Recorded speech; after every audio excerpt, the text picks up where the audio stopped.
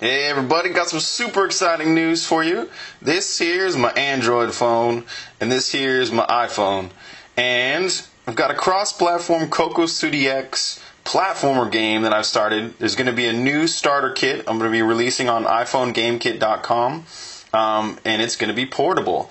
Uh, not only that, but it's got some C++ 11 features, and I've actually got it compiling on Android and the iPhone with the C++ 11 features. Pretty stoked about it.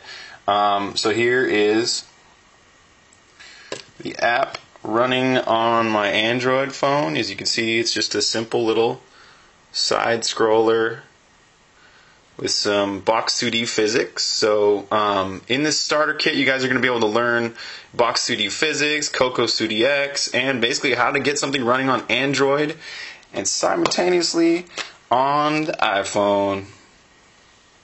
Here's my iPhone.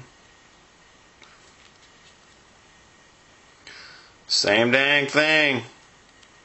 So I'm really excited to get this project done and get this new starter kit out for you guys and be looking for it on iPhoneGameKit.com pretty soon.